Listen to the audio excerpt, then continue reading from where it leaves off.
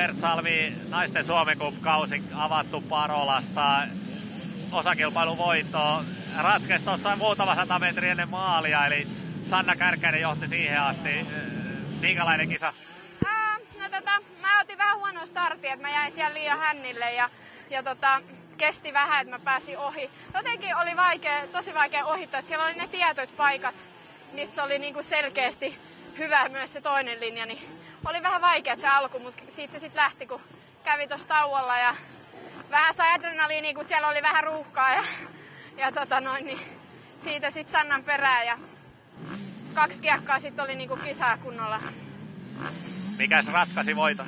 Ää, no tuolla oli, voi sanoa, että mulla oli paljon parempi linjavalinta tonne yhteen paikkaan, että se oli vähän semmoinen, mistä mä olin pari kertaa ajanut, niin se oli nyt se mun pelastus. Et mä olin sitä paikkaa miettinyt tuolla, kun mä ajoin, että voi vitsi, että siellä viimeistään on pakko yrittää ja siinä mä onnistuin. Sä lähdit tähän kisaan polvivamman jäljiltä, ei mitenkään kovin pitkä ajo, ajo rupeama tästä takana, miten polvi?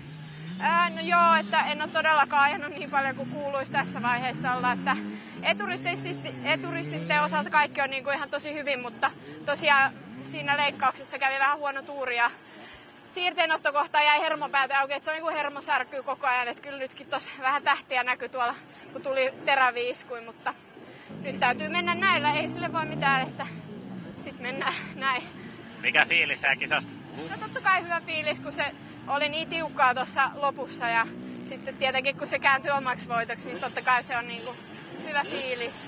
Kiitos. Kiitos.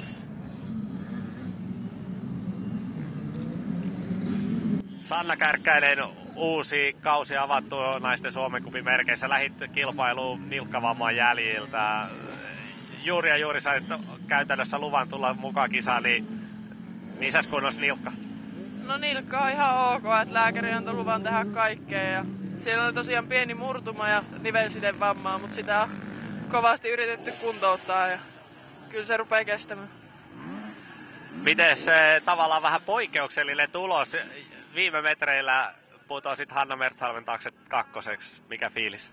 No harmittaa, siis harmittaa ihan älyttömästi voi myöntää suoraan. Että niinku kuitenkin johin koko aika kisaa ja sitten tuossa viime metreillä tosiaan meni ohi, mutta ei mitään tosi hyvä kisa. Mä sain ajoa alle, mä sain pahimman kisajännityksen niin sanotusti laukastua ja tota, tota, tästä on ihan hyvä lähteä jatkaa loppukauteen. Minkälainen kilpailureitti tänään? Reitti oli hyvä, muutama märempi kohta, mutta niistäkin pääsi ihan ajaman läpi, ei mitään ongelmaa. Ja reitti pysyy hyvän. Kiitos. Kiitos. Marita Nyqvist naisten luokassa Suomen kupien avauksessa kolmas tänään. Minkälainen koko, koko toi tunnin mittainen kilpailu? No siis reitti oli ihan hyvä. Itellä vaan meni niin kuin kahdella ekalla kerroksella kädet aivan jumi. Se toinen kerros oli oikeastaan pahin ja sitten loppuun kohden rupi auki, että sitten rupi taas olla ihan kiva ajaa. Minkälaista toi taktikointi tai miten sitä mietitään toi huoltoon tuleminen? Eli säkin tulit äh, ensimmäisen kierroksen jälkeen huoltoon ja esimerkiksi Kärkkäinen Sanna toisen kierroksen jälkeen ja siinä oli muutenkin vaihtelu koko teidän, teidän tota, naisten luokana ajan, niin vähän eri kierroksilla porukat huoltoon. Joo, siinä on vähän jokaisella oma päätös, että itse on tullut yleensä aika alkuvaiheessa, että tietysti voisi tulla niin kuin myöhemminkin. En mä tiedä oikeastaan mietinkö mä sitä sen enempää. Se on kuitenkin pakko tulla ja juosta läpi ja sitten taas kun ei tarvitse tankkaa eikä mitään, niin se on semmoinen pakollinen paha. Miltä toi tuntui toi juoksulenkki täällä? Että oliko sopivan pituinen huoltoalue? No kyllä siinä sykkeet nousee siinäkin, varsinkin kun tuo oli vähän ylämäkeä koko aika. Muuten tässä toi kisa muuten, äh, Mertsalmen Hanna voitti ja Kärkkäsen Sanna oli toinen.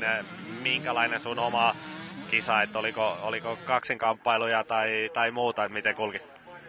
No ei oikeastaan ollut sillä pahemmin, pahemmin aika yksikseen ajaa, että enemmänkin olisi niinku kierroksella ohitettavia tullut, että se aika nopeasti se letka hajosi siitä. Että sitten tietysti koko aika pikkasen näki niin kun Sannan selän siinä, niin koitti, niin kun, että ei ihan hirveästi siitä lähtisi jäämään. Että... Kiitos. Kiitos.